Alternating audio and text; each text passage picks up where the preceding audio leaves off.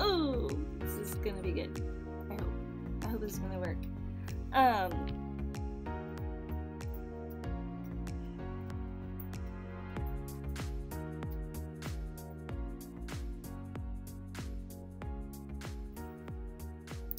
There is a uh, common misconception that uh, autistic people are incapable of or do not ever do or give eye contact. And I wanted to talk a little bit about that in a video because I actually haven't discussed that yet. And so I wanted to share as an autistic person who is capable of eye contact uh, what that's like for me uh, because uh, there are situations where I do and don't do eye contact eye contact and there are situations where I actually fake it. Uh, so first let me start by explaining that I don't do eye contact with very many people. Uh, for the most part, it would probably be people I'm very close to or intimate with, uh, mostly Dave. Uh, because eye contact, like real eye contact, staring into the colors of the person's eye, feels very intimate to me, and it's almost like being undressed in a way. Not, I don't know. Like so it's like the person like it's like you give them X-ray vision. I don't, I don't know how to explain it. It's just it's an awkward feeling, and very intimate to to do with a stranger.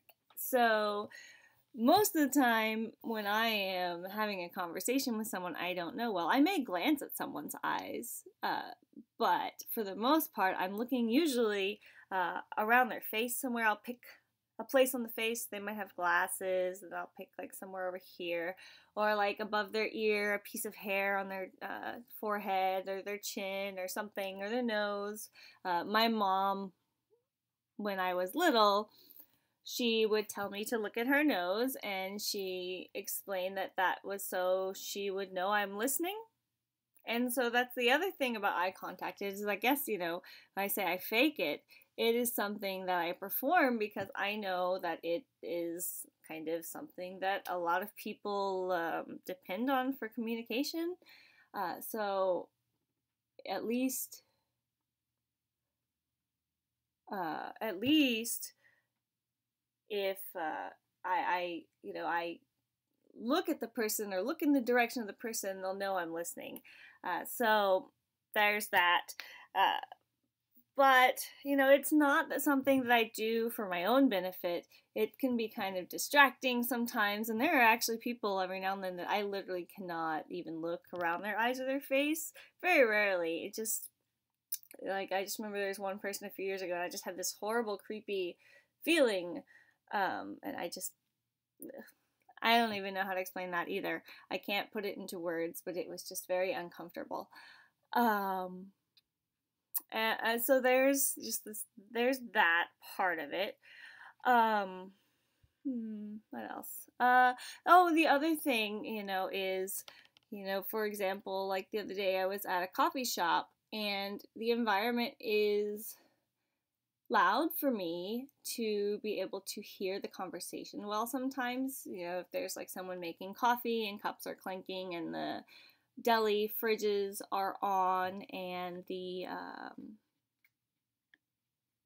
you know all the all the refrigerators all the air conditioning units the people talking quietly just all the noises of a coffee shop sometimes it can get a little louder at times and then it can become hard to hear and so if i'm looking at someone's mouth. Sorry, I went back to the coffee shop in my head when I was trying to describe that, and I got a little distracted. Uh, so, you know, I may look at someone's mouth. Uh, I wish I could read lips, like really read lips, but you know, if I am having difficulty hearing what someone's saying over the noise of a loud uh, place, sometimes the mouth can be a clue if I've misheard a word, what word someone might have said, because you can kind of tell a little bit about what someone said based on the shape of their mouth, even if you can't read lips, or at least I can. Uh, so that's another thing. A lot of times I am looking at a person's mouth when they're talking to me. Um, uh, and then, you know, there are situations, you know, where I will do more effort to look like I'm making eye contact, maybe at work or in any kind of professional setting when I am very on, and that's I guess another part of like masking, I guess. But but that part of it is pretty unconscious at this point. It's been trained into me for years since I was very very young.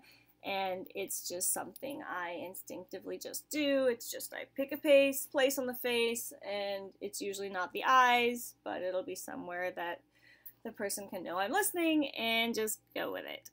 Uh, so that's what I do for probably 95% of the humans I meet and interact with.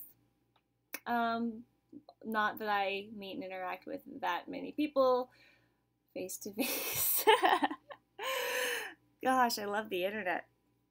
It lets you do so many things with just like Skype and email. It's brilliant. Um, so that kind of helps some of those things.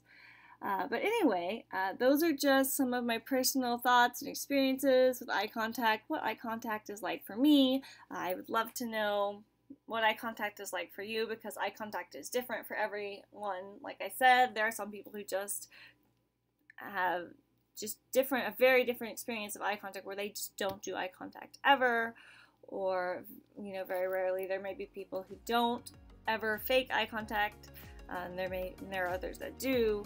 Uh, and there are also probably people who say they never have any difficulty with eye contact at all. Uh, and this is all just going to be different depending on who you talk to. And so this was just my experience. Uh, anyway, guys, I will uh, give me a thumbs up if you like this video, and I'll know to do like more of this kind of video. Try to figure out what what you guys want, uh, or if you have a suggestion for a video, leave it in the comments below, uh, and share your experience with eye contact in the comments below. Uh, I will talk to you next week.